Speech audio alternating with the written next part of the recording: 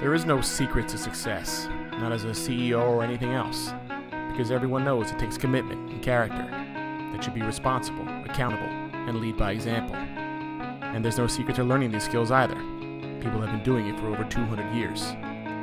As officers in the United States Army. The strength to lead on the field today and in any field tomorrow. That's the strength of a U.S. Army officer. Join the next generation of great leaders at goarmy.com/officer.